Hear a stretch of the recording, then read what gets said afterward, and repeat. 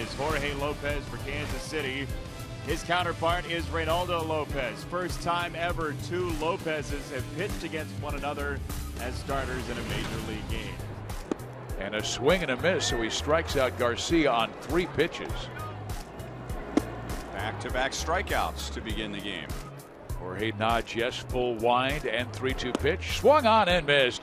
Got him on a fastball that zipped away, and Jorge strikes out the side. Lucas Duda digs in, and Duda driving one high in the air, and that's deep to right. That's a way back, and that ball is gone. Home run, Lucas Duda, number two this year, and the Royals lead it 1 0. Duda, did you? My goodness. Whit Merrifield leads off inning number three. Pop up. Right by home plate. Come home, ball. Castillo fading away makes a catch.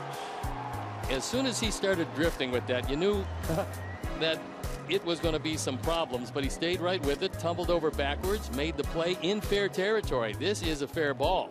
Effective, if not artistic. And that'll bring up the young stud Moncada.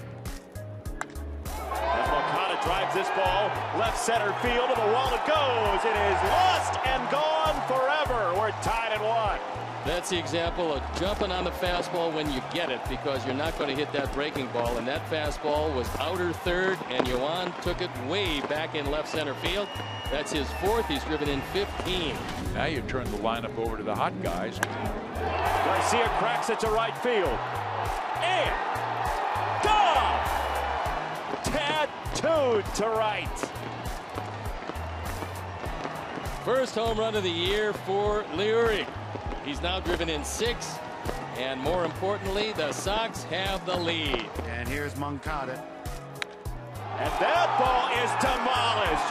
Back to back, yes, sir! Moncada second tonight. We're going to run out of fireworks.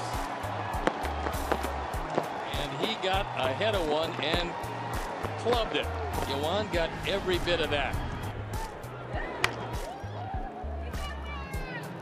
Wrap to Sanchez. Out number three, Reynaldo Lopez, six innings, one earned run. He walked two, he struck out five in his best outing by far of 2019. Yonder Alonso, the batter, he's had a heck of a game going three for three. Yonder crushes this ball. On a line, right field. Look out, Goose Island. Yonder maroons one out on the island. And the Sox add on. It's five to one. Yonder high-fiving the air. Yeah, here they come. Rob Warren, the Sox clubhouse manager, is going to have some long nights. This one a high pop-up play up the left side. Moncada foul territory. Now back to fair territory. Makes the catch. Sox win.